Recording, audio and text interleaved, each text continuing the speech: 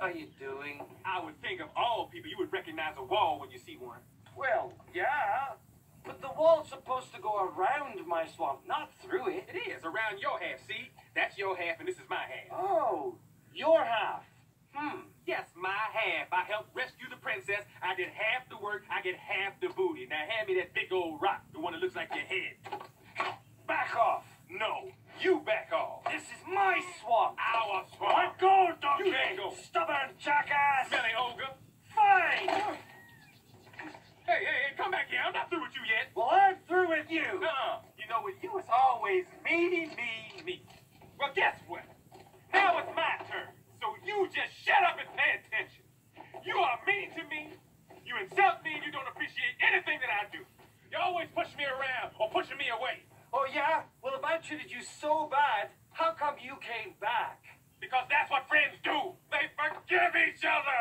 Oh, yeah. You're right, Donkey. I forgive you. For stabbing me in the back! Oh, you're so wrapped up in layers, onion boy. You're afraid of your own feelings. Go away. See? There you are, doing it again, just like you did to Fiona. And all she ever do was like you. Maybe even love you. Love me? She said I was ugly. A hideous creature. I heard the two of you talking. She wasn't talking about you. She was talking about uh, somebody else. She wasn't talking about me? Well, then who was she talking about? Uh-uh, no way. I ain't saying anything. You don't want to listen to me, right? Right? Donkey. No. Okay, look. I'm sorry, all right?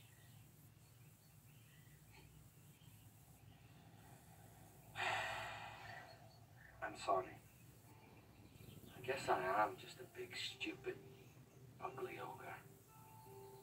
Can you forgive me?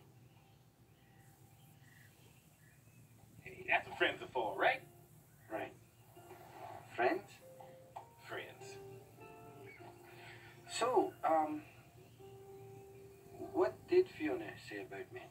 Well, what are you asking me for? Why don't you just go ask her? The wedding! We'll never make it in time. I never fear. But where there's a will, there's a way, and I have a way.